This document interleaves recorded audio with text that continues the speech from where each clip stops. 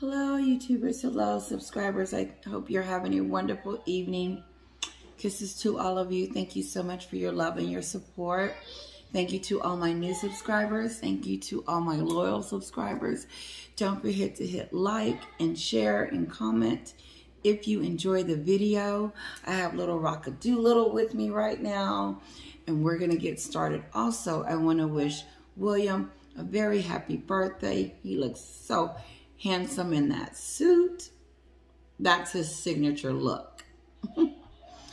also, I want to say, uh, say I hope my subscriber in um, Oklahoma gets their lights on soon. It was a bad tornado there, and I am sending up prayers for you guys. Mwah. Let's get started. So, I was watching Dan Wootton's show. I watched for um, a couple of shows, and I'm going to touch on a, a, few of them. Dan Wootton was on with Angela Levin, and they were talking about how Meghan is having a bad week. Well, of course she is.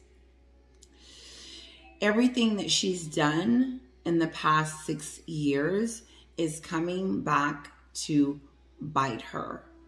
It's she's coming, and I don't know if she's regretting any of this stuff, but her, what's going on, what I'm seeing is her is the downfall of her is spilling out in the streets. The things that are going on with Meghan that are negative, people are coming out uh, exposing her, talking about her, and calling them grifters, calling them con artists. Con, you don't have to call them a con artist. You call them a grifter. That's a nicer way to call them a con artist.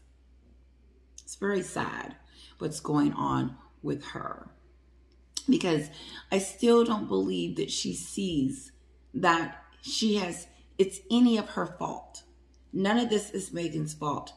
She blames everything and everyone else for the things that happen in her life. And once again, she's done that again today. I was listening to uh, Neil Sean, and he was telling us how she was telling, you know, through a source, how it wasn't her fault that Spotify, it wasn't her fault that Spotify um, forced or, or had her forced or made her or suggested or suggested that she didn't do the interview. For some reason, I think she needs to be very careful in what she says because when she lies, they show receipts. Unlike the royal family, they can't show receipts. Point in case, the car chase.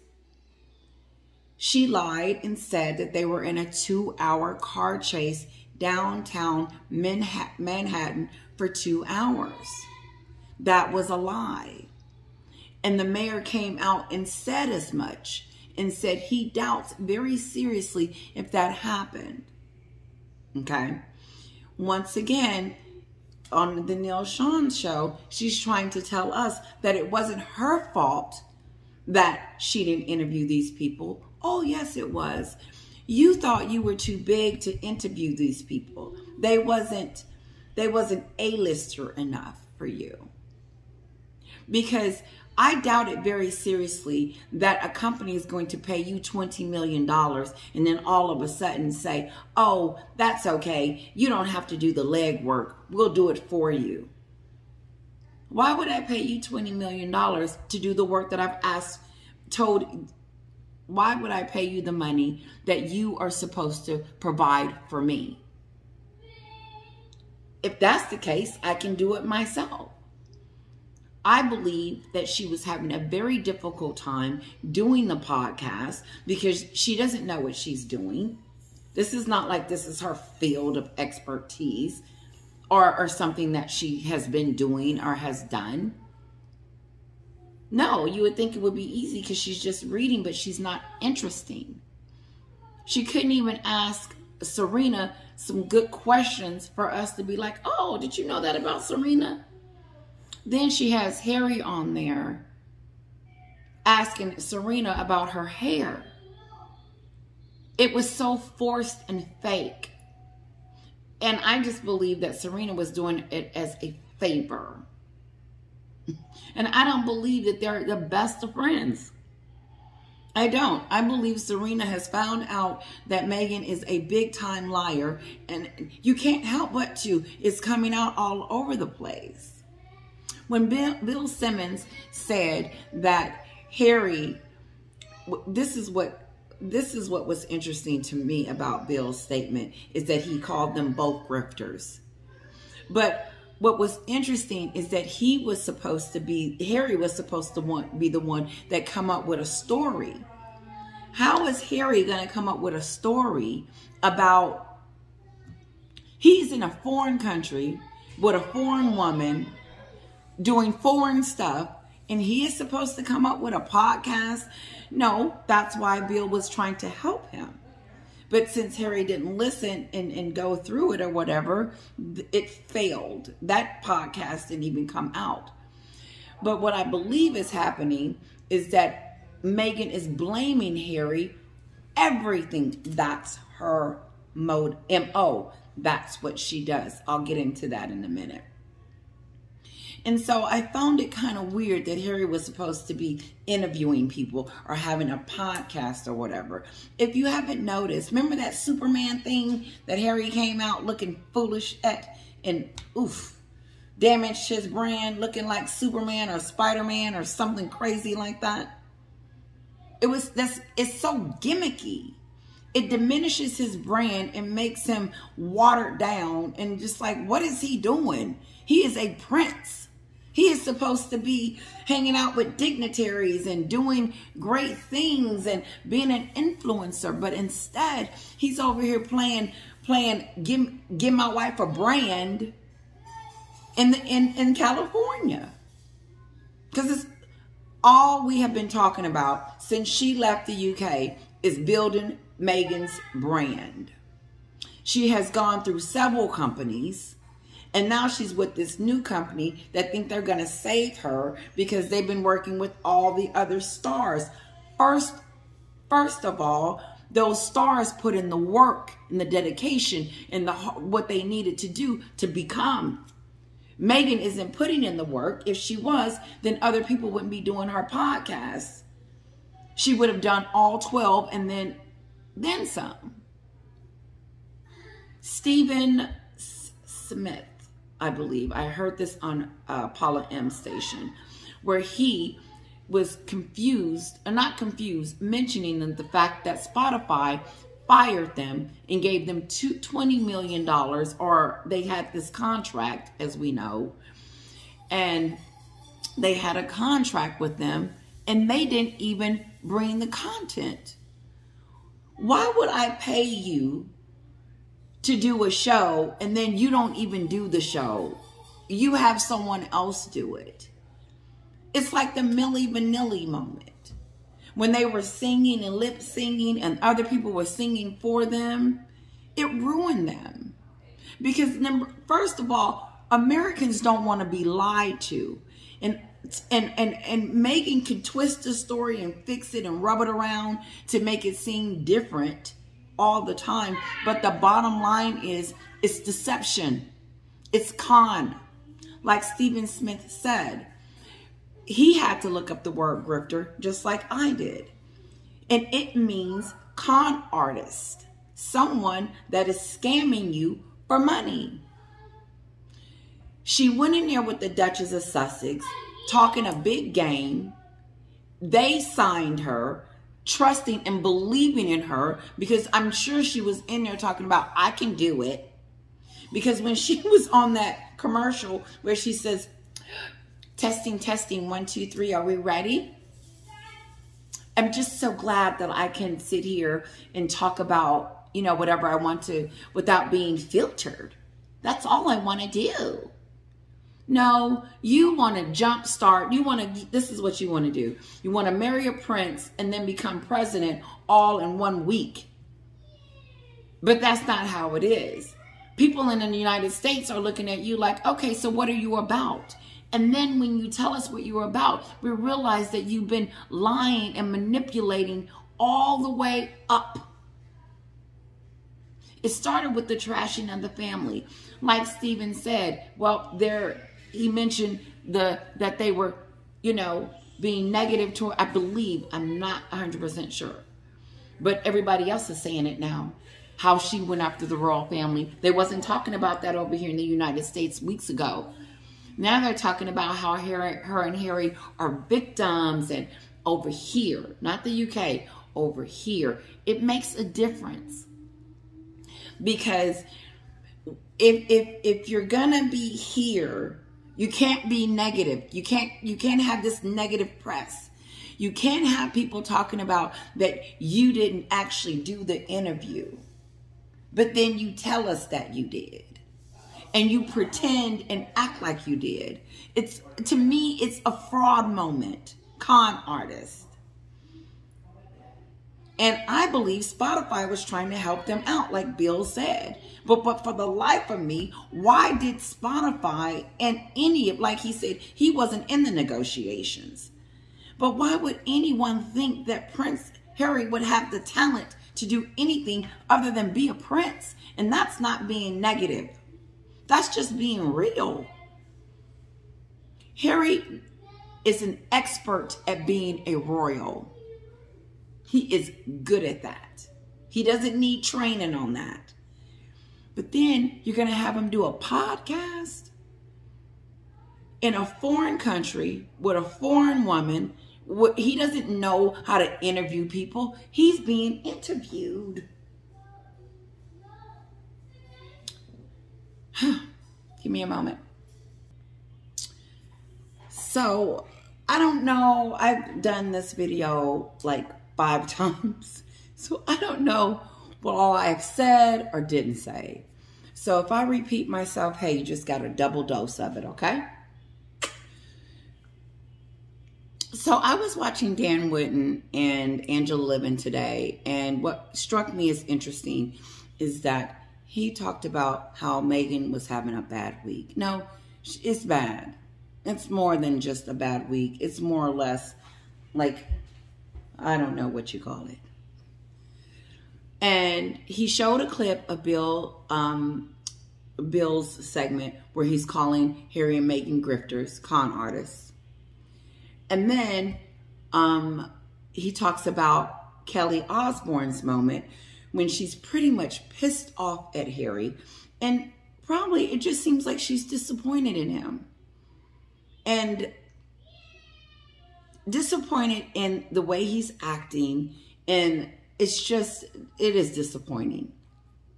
Whining blaming pointing the finger you know spoiled brat. A rich entitled prince that married a woman that was triple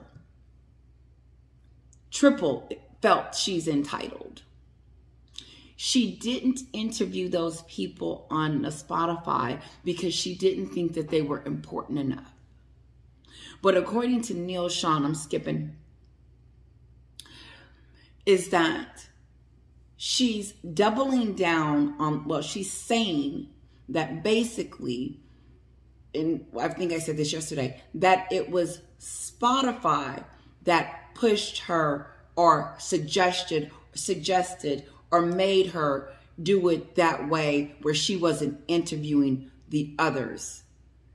Instead of interviewing, she inter, she interviewed all the A-listers, but not all the D-listers. And it was Spotify's fault because of that. Why can't she take responsibility for the fact that it failed or it just didn't work out or it just ended the way it did? Why does she always have to be the one that it wasn't my fault? Never taking accountability. Because here's what happened, Meghan. A company paid you or contracted you out. I don't know how much they paid her. Who cares? $20 million to do a podcast. And instead of doing it, and I know she was on there telling them what to do and what she was going to do. And she told them, I'm not interviewing those people. I want to only interview Serena then. Oh, okay. And I, it blows my mind on why, like um, Bill Simmons said, why wouldn't she just insist? Or Neil Sean said, Neil Sean said, why didn't she just insist on doing it? Why would you allow yourself to be put in a situation where you have almost a Milli Vanilli effect, where you didn't do it at all? But the kicker is, is her blaming. The blame is here again. Mm-hmm. It's all someone else's fault. It's not her fault. If they wanted me to do it, then why didn't they push me to do it? Then why did they have me do it this way? And see, the difference in her telling her side of the story is the difference in her telling her side of the story is is she going to get caught up in a lie? And she already has. Like she lied about the 2-hour car chase in New York City that was going for 2 hours chasing them the paparazzi and all of that. Look at the damage that she caused or could have caused. People's jobs, people could have really got hurt. The mayor had to come out and say that that is not what happened. In other words, just like Spotify, Bill, no, they're grifters. No, like the mayor said, no, it wasn't a two hour car chase. No, uh uh-uh, uh, Meghan, no. But instead of taking responsibility, she's appalled and shocked that people wouldn't believe her.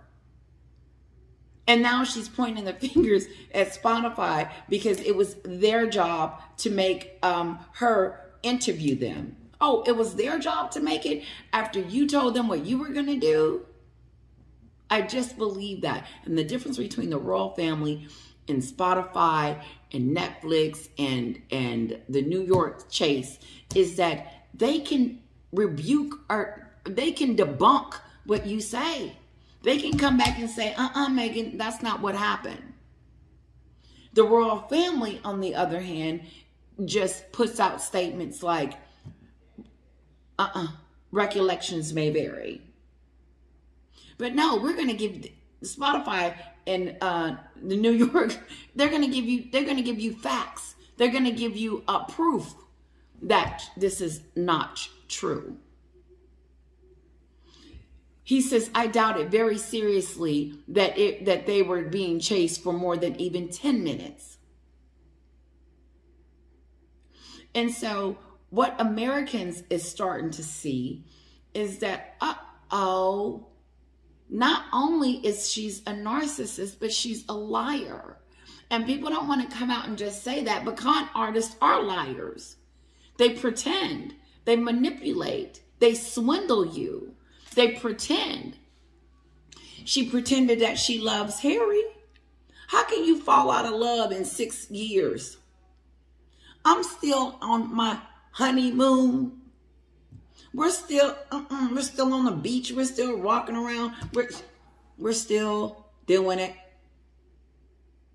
No. She lied to Harry and told him that she loved him so she could marry him and do the very thing that she thought she was going to do with Spotify and Netflix and well mostly Spotify and and and she's coming out with her spread and all this other trickery stuff that she's doing. She went into the royal family thinking that she was going to con them but Queen Elizabeth saw her coming a mile away. And no one could talk to Harry because he was in cloud Meghan. And so as he was trying to manipulate, while she was manipulating, Harry was sucking it in. And the royal family was like, okay, this, we, we got ourselves something. But she wasn't done. It wasn't enough that she went over there for 15 minutes and pretended that she was going to be a royal because she was never going to be that. That's not, that wasn't on her resume. That wasn't in her vision board to, to, to serve. Like Michelle Obama says, it's a bright, shiny light to serve. And she called it out. Yes, she did. I hope I'm not repeating myself because you know I, I, start going into that and because these are the things that are on my mind that I can't believe. Anyway, let's move on.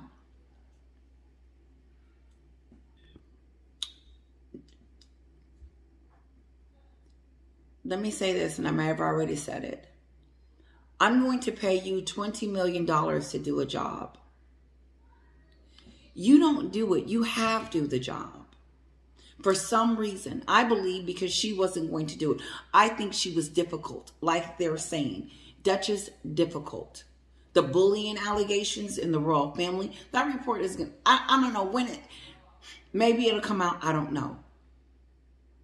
But why everything that Meghan touches ends in tragedy or ends in some way, not her fault, or her blaming them because of what happened.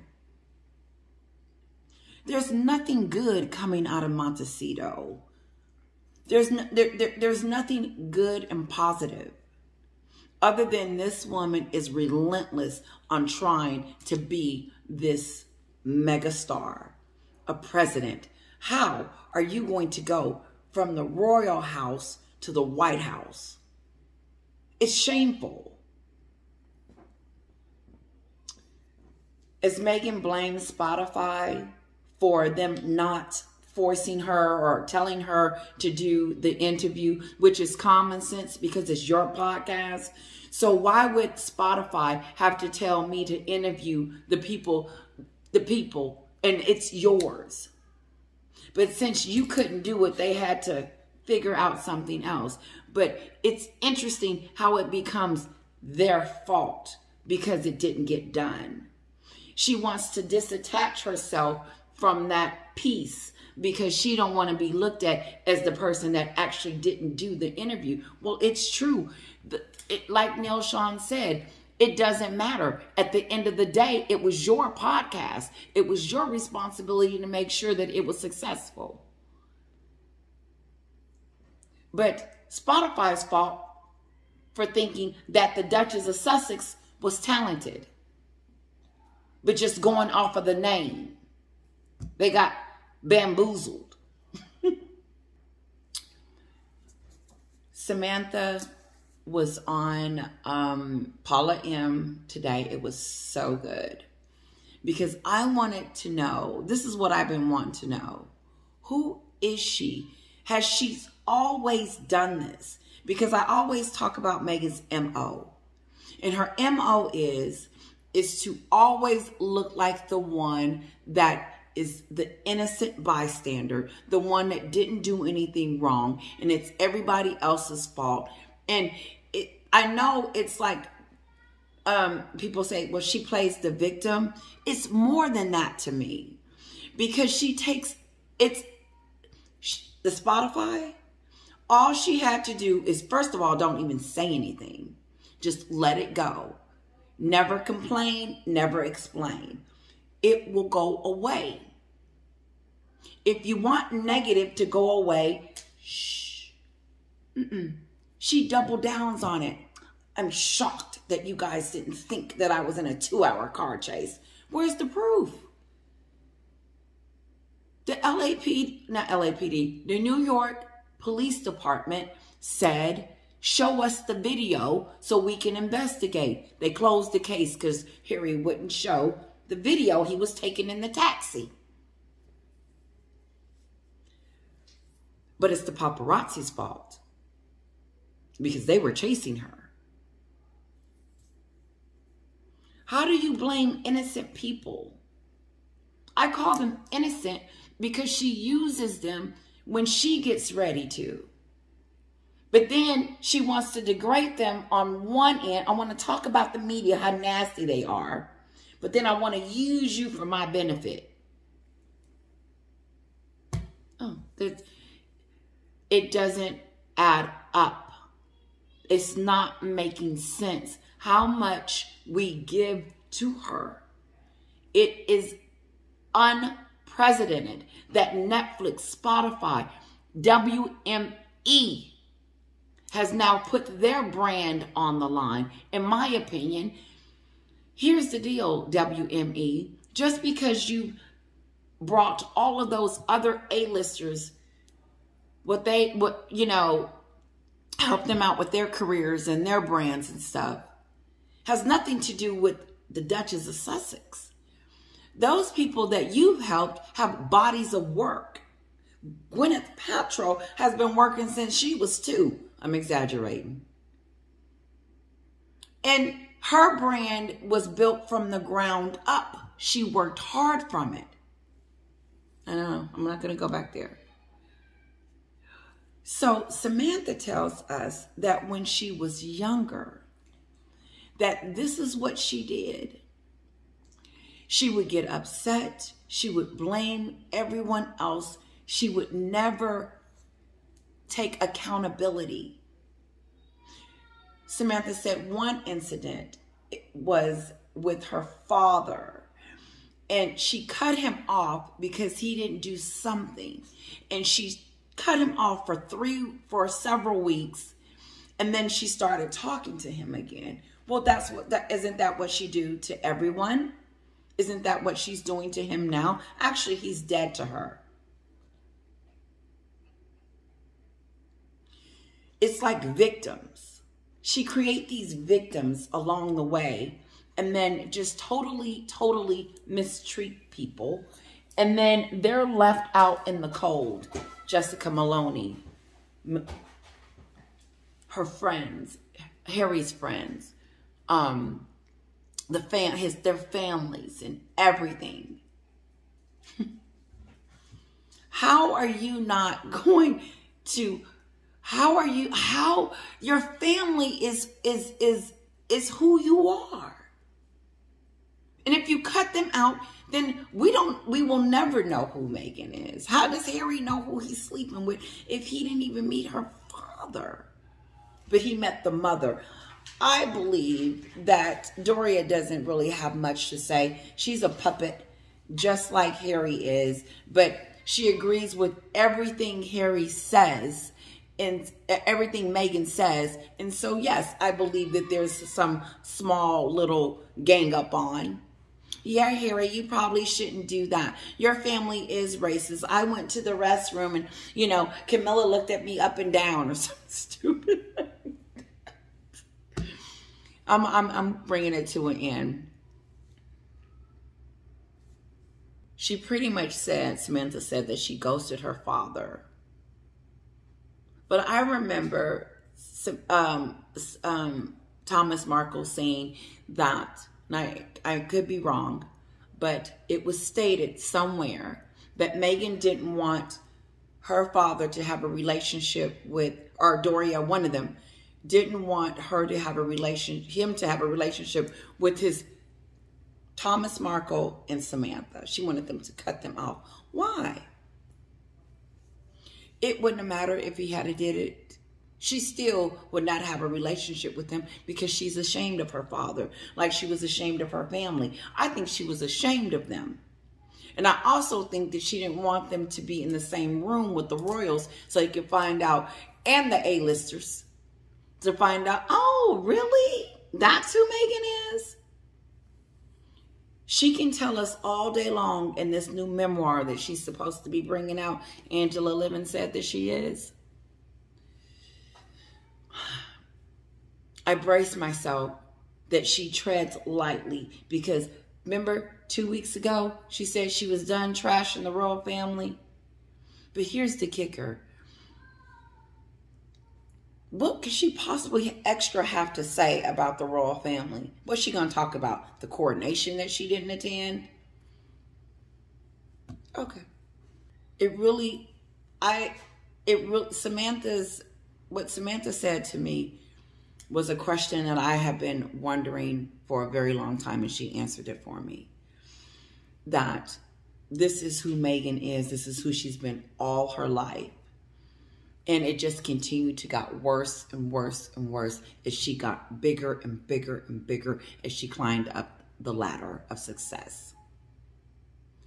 And now what has happened is she has been exposed. People are seeing it from every side. Like Paula P. Dinah said, the black community that don't really watch it and is really following the rules as much for Stephen Smith to say something about it, that's pretty big because he is a big time influencer. He's on a major network over here and people listen to him. And for him to bring their names up and call them grifters and realize that, oh, she didn't do her podcast. They did pay her $20 million. They don't have the talent.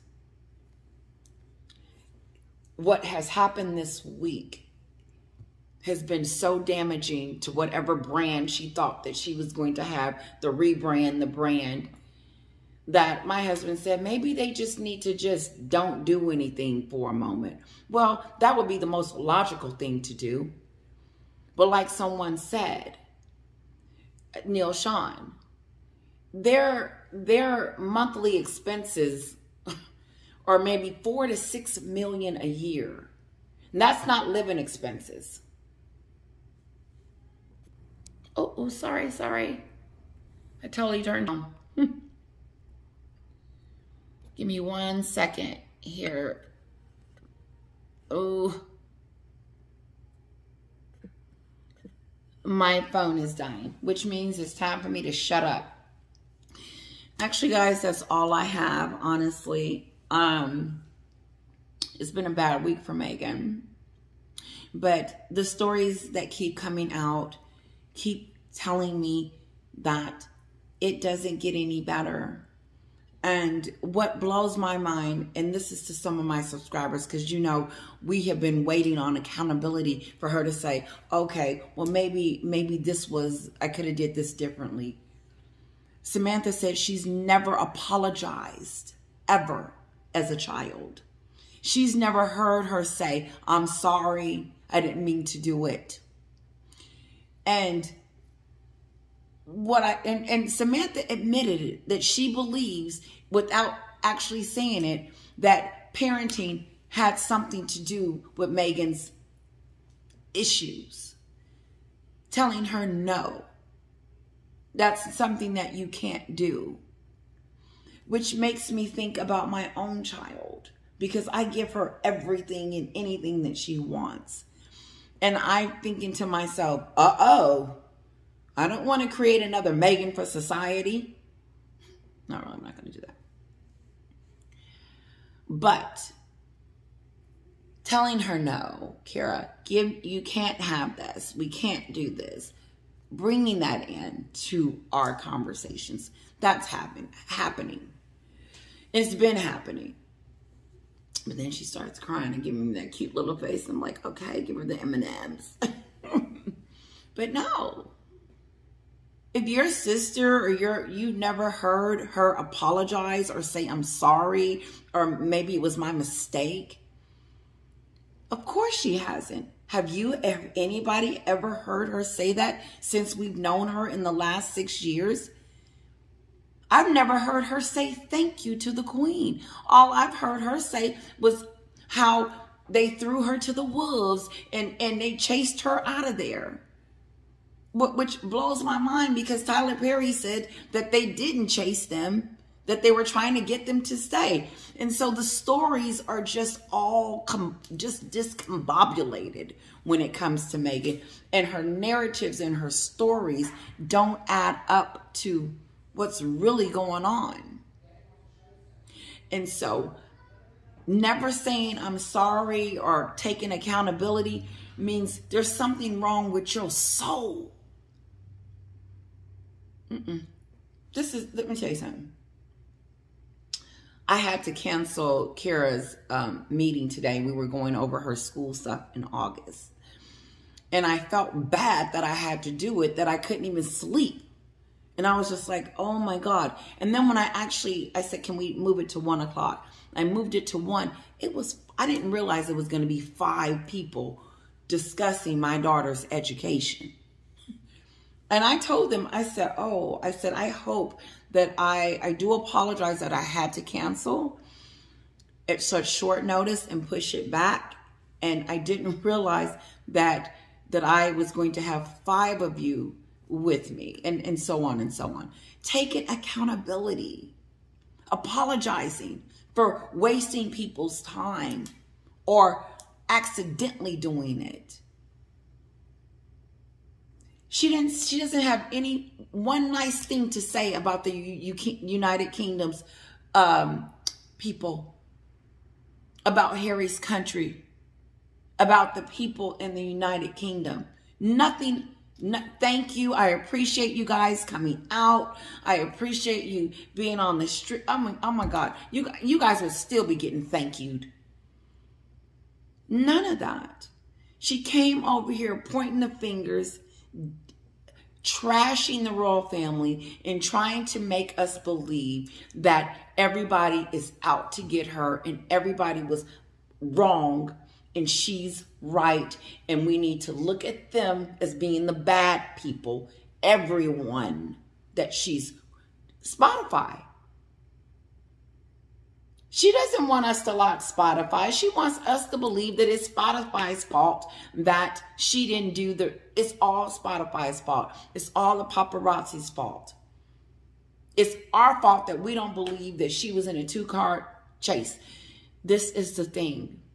She has disrupted, disrupted everything that she thought that she was going to do in the United States. And it started, it triggered that two hour car chase, triggered it because people wanted to know did it really happen? What's really going on?